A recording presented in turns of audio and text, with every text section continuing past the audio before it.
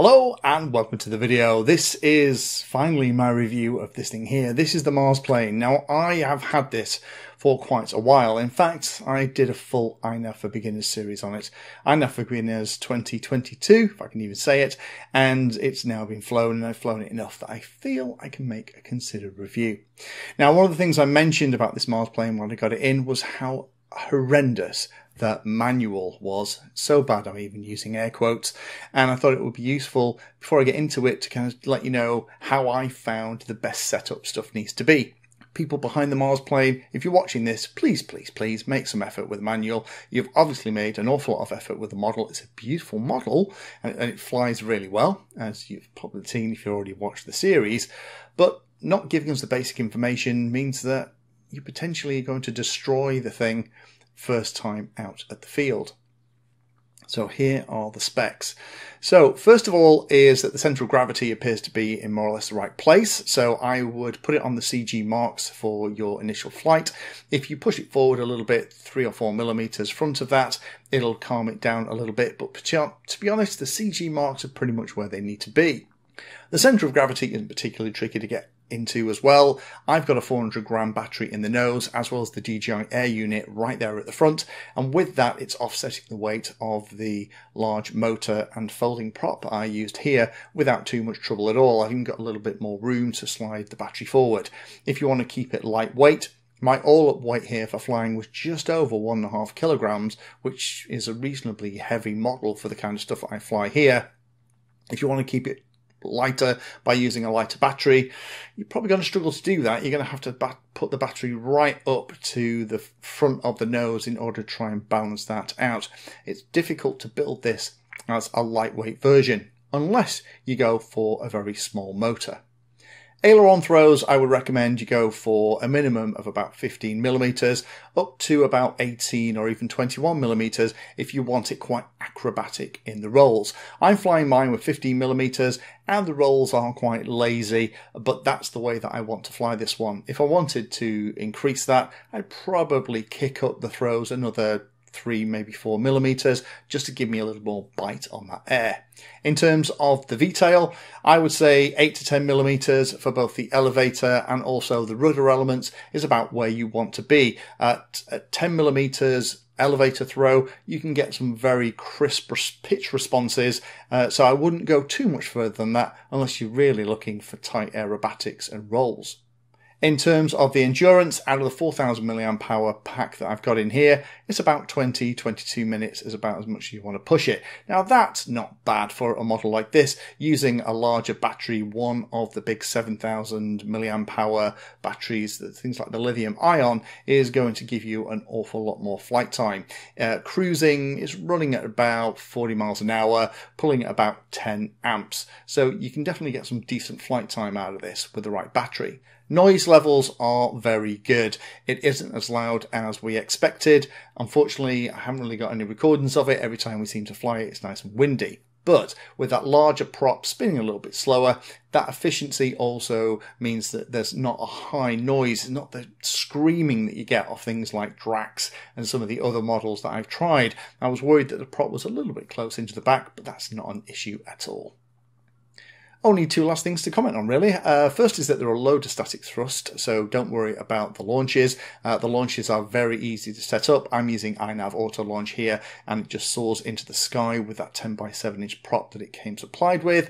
And the last thing is, don't expect this to float. Um, stall speeds you're kind of getting a kind of 18 miles an hour is about as close as I've dared to do it. Um, rather with things like the Dolphin, where it would go much lower, 12 miles an hour in some cases, uh, because that's so much lighter. The weight here, even with the large wings, does mean that about 18 miles an hour is right on the edge.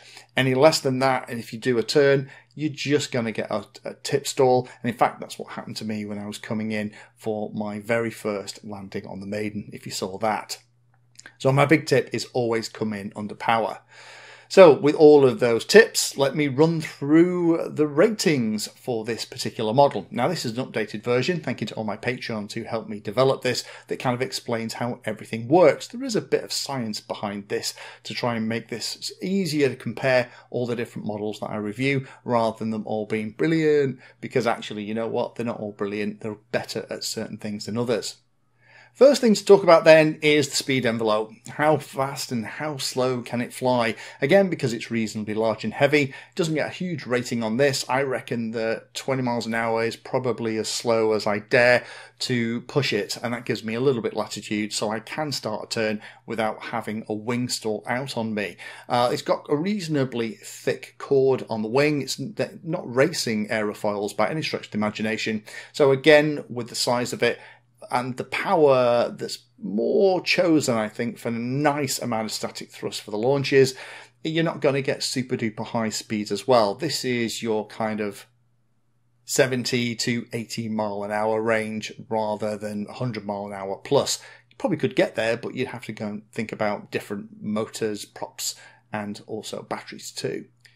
Efficiency gets a nice 3 star rating. It will fly for over 20 minutes at a time on a pretty regular standard 4000 mAh battery. If you use lithium ion, a good lithium ion pack, you could extend that an awful lot more. But on a 4000 mAh 4S LiPo, pretty standard, you'll get 22 minutes, which isn't bad at all.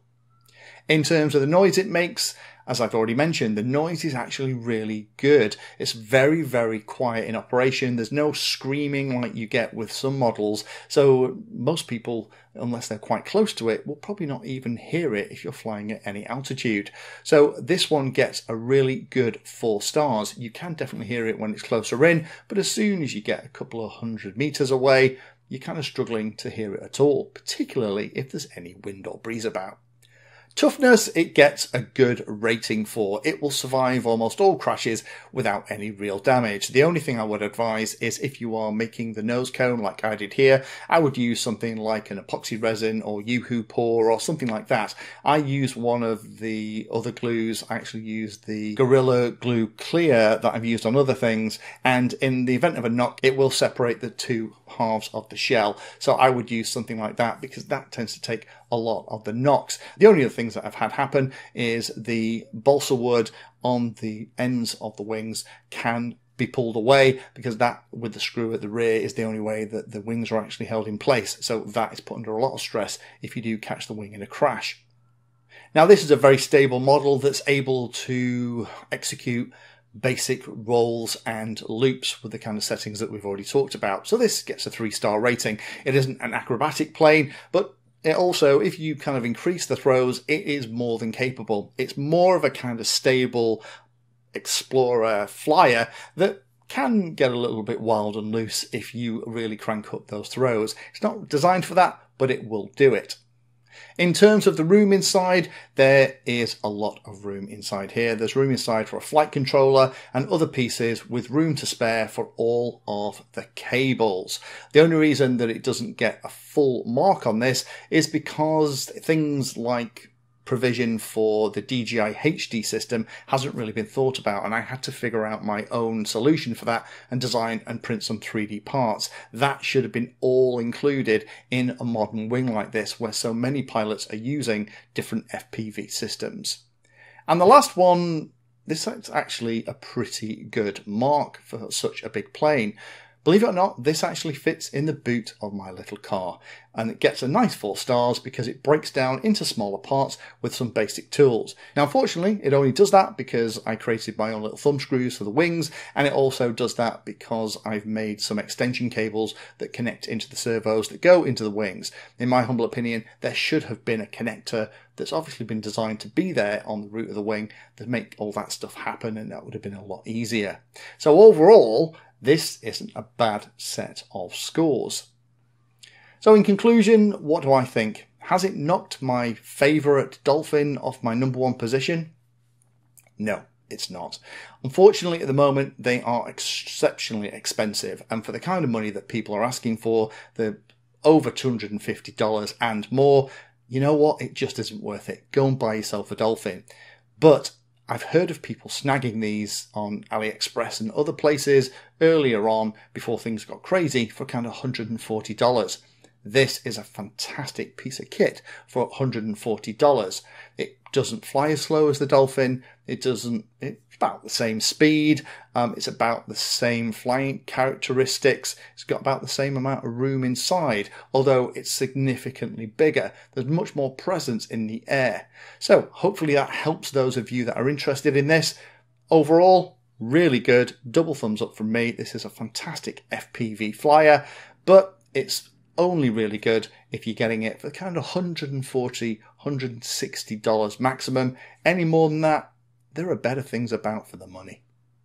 Thank you for spending your time today watching that video. You can find me in all the usual places on social media. And if you're trying to learn about a subject, then check out the playlist. All of my videos are organized into easy to follow playlists that if you're trying to learn a topic will take you from the basics right the way through to some pretty advanced stuff.